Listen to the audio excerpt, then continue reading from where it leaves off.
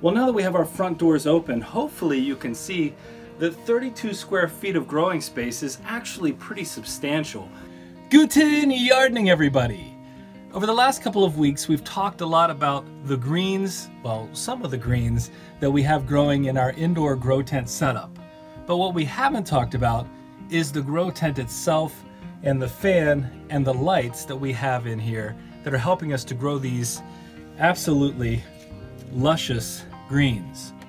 And so today I want to talk you through some of what we have here. Now one of the things that we've found out, and if you've gardened indoors before, you probably already know this, but a season doesn't go by where there isn't some sort of change or upgrade in the lights, etc., and the equipment that you'd use in the grow tent. It's almost like a college textbook. There's always a new version. And so while we're going to provide some links in the description for what we're talking about today, in some cases it won't be for the exact model, but it'll be for something that's very much comparable. So if one of the aspects of our growing setup that you see today is interesting to you, again, just check the description below to find that product or something very similar. If you have a grow light that's your go-to, we'd love to hear about it. We're always looking for the best type of setup, again, to produce the best greens, the best vegetables indoors. Now, as we go through this today, if you like the content, don't forget to push that thumbs up button. Without further ado, let's take a look at our grow tent. This is our VivoSun grow tent. It's 4 feet by 8 feet by almost 7 feet tall. That means that we have about 32 square feet of potential growing space indoors. And one of the things that we like the most about this grow tent is all of the access points because when you're setting up something this size, or even if it's one smaller, it's not always easy to access from one angle or the other, especially when you're talking about 4 by 8 if we had to access from just one side, it would be very difficult to reach to the other. So just like with most grow tents, we have the ability to see what's going on inside through these little plastic windows. We also have various sizes and shapes of entrances depending on what we need to bring in bring out and how easily we need to access whatever it is we're looking for.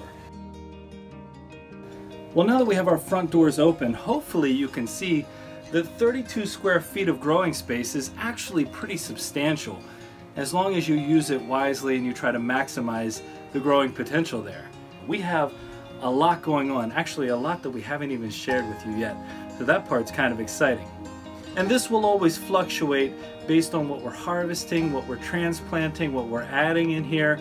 And a lot of the vegetables that we're growing don't take an extreme amount of time. And so this space is always in flux. But with a grow tent like this, one of the nice things is we have easy access here at the front.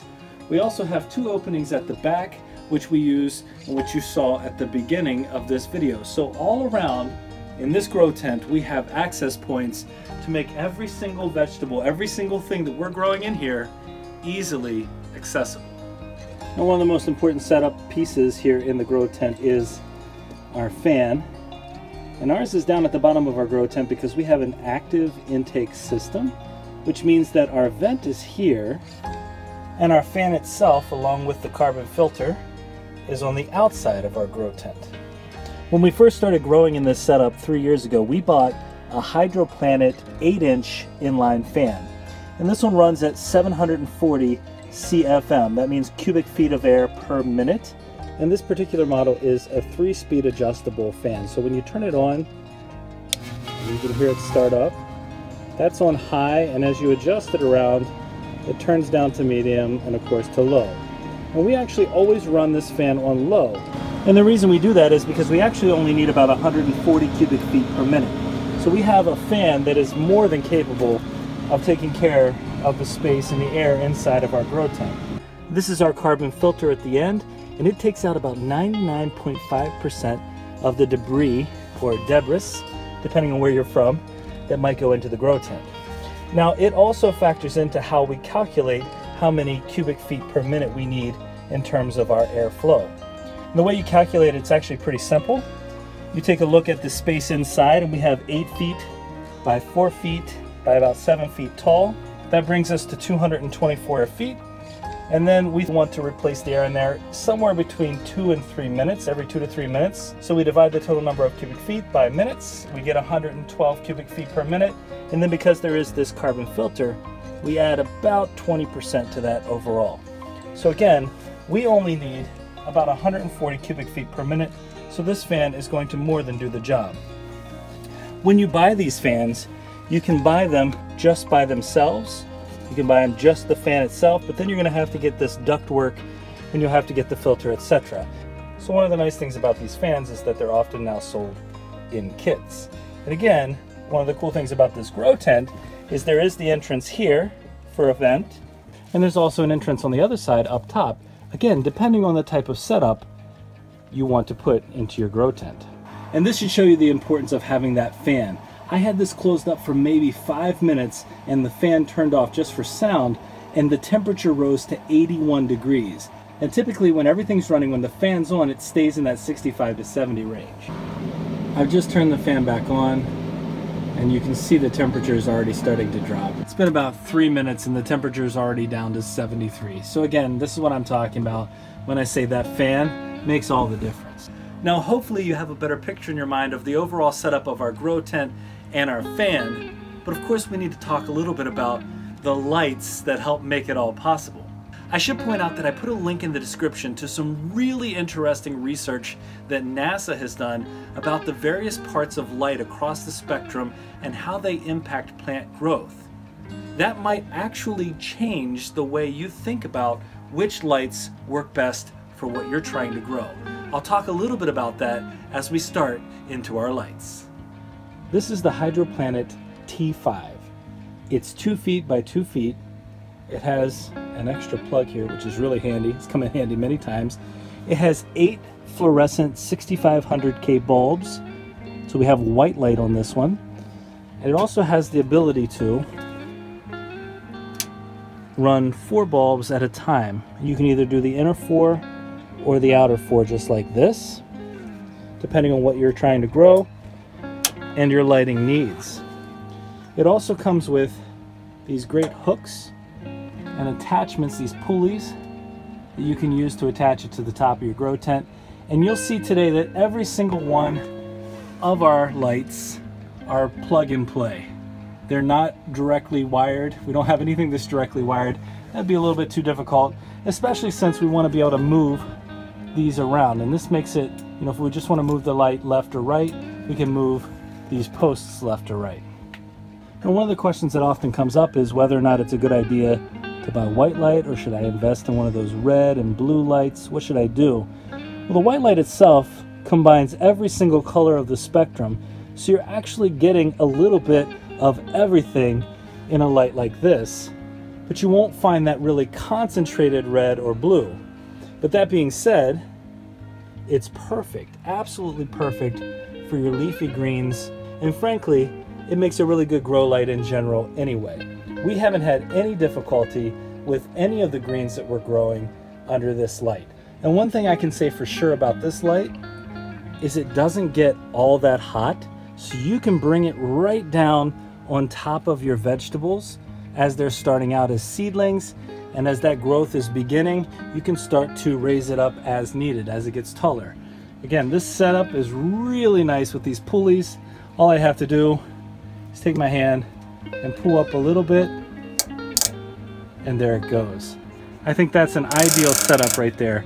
We can keep this as high or as low as we need it. This is a Morsen 2000 watt full spectrum grow light and you should be able to see that there are 200 different lights on here and one of the really cool things about this light is it's supposed to be balanced to most directly reflect or act as real sunlight, which means it has red, blue, white, and infrared lights in here. And it's again supposed to be the perfect balance. Now I'm gonna turn this on. It has two switches depending on the level of brightness. Got those nice colors in here. And there it is all the way up. The plants themselves, the vegetables turn a different color but this is definitely some lighting they enjoy. And let's take a look under here. Most of the lights in here are red, and you probably can't tell very well because they're so bright that the camera's having to really adapt to that brightness. But the red is what plants need the most of. There are far fewer blue. If you have too much blue, it can actually stunt growth. The red itself is really going to help with the seedlings. And then we have the white and the infrared. So again, we're getting that full mixture of lights, which if you read that research from NASA, will show you are most beneficial to the plants. Prevent these lights from heating up too much, we have four cooling fans on top, so you can hear them running right now. And they do a great job. So again, we're not adding too much heat in here. And just like before with this light, we have the ability, again, to raise and lower. These pulleys are an absolute necessity. And this light is about eight and a half inches by two feet. Part of the consideration when buying these lights is what size you need depending on what it is you're trying to grow. Of course the light will spread out a bit as it's turned on, but if you're talking about direct light, this is eight and a half inches by two feet long. Now the smallest light we have, which is about eight inches by a foot, is a Lightimetunnel 300 watt grow light with 190 lights underneath. And these are pink and blue. Pink is in that red range, and so if I turn this on, you'll hear the fan running. This one I think is one of the loudest ones. You can see it's almost like a purplish color when they're combined. And again, here we go, we can see the light coming in. You can see the blue ones sort of stand out. You definitely want more red than blue. You don't want to stunt any growth. And this light has been particularly useful for germination, uh, stem development, and the blue lights that are in there also help with leaf thickness. So we can use this, again, just like every other setup. We can attach it, lower it, raise it, depending on what we need, but it's a little bit smaller. So maybe if you're growing in a smaller area, something like this is perfect for you. It's a little under a square foot, but it is a powerful light. Right now we've got it over top of our tangerine, and you can see that light has spread out quite a bit. Now in addition to the grow lights that we've purchased, we've also built a couple of our own for about $20, $25 using some heating ductwork that we separated out, some 8-inch ductwork, uh, a few chains to hold it up, and then some of these multi-socket lights that you can get anywhere for just a couple of dollars. And then we added our own 6500K bulbs, and they've done quite well. Some nice reflection in there you can probably see. These give a really nice white light in a really inexpensive way. There are a ton of decisions that are going to go into what makes the perfect growing setup for you in terms of indoor growing. The size of the grow tent varies based on the size that you have. Your ability to position it so that you have easy access all around is very important. Making sure that you have the perfect fan in terms of the size of the space you have. Then it comes down to which lights work best for your needs. Our variety of lights gives us the opportunity to experiment with the different vegetables we're growing, this wide variety, and determine which light works best for what.